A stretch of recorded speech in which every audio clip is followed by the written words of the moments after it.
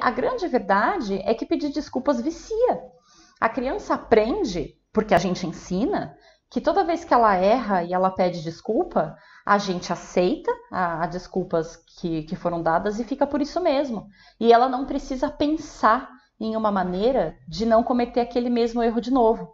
Então ela bate, pede desculpa, tá tudo bem. Ela quebra, pede desculpa, tá tudo bem.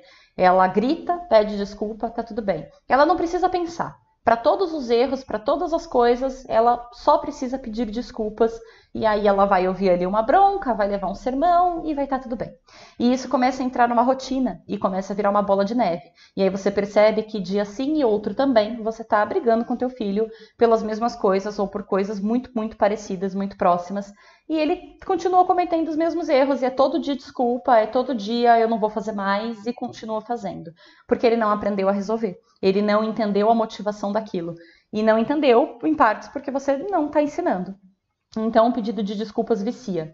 Ele é confortável, ele é rápido, ele é cômodo. A criança só solta um, ai, desculpa, mãe, desculpa. E tudo resolvido. Sendo que não é assim que funciona, não está tudo resolvido quando a gente pede desculpa, né? A gente precisa parar para pensar sobre o que, que a gente fez de errado e como que a gente vai consertar o nosso erro.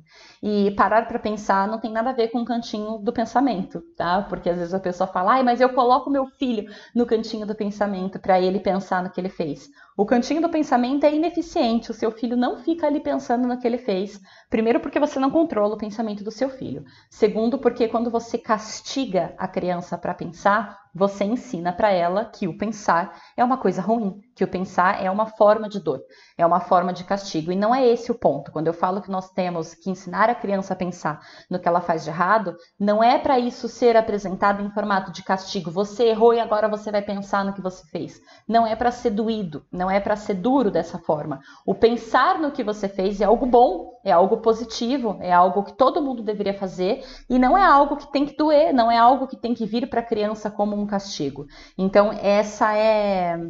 Essa é uma coisa, uma ferramenta que a gente utiliza com a criança, sim, mas a gente não pode utilizar de forma grosseira, de forma brusca, com a intenção de castigar. Porque quando você quer ensinar o seu filho a resolver problemas, você quer ensinar o seu filho a resolver problemas. O seu foco não pode ser castigar a criança, tem que ser ensinar a criança. E são coisas diferentes, porque o castigar tem a ver com punir, né? Com você vai sofrer algo negativo porque você fez algo que eu não gosto. E isso tem a ver com punição.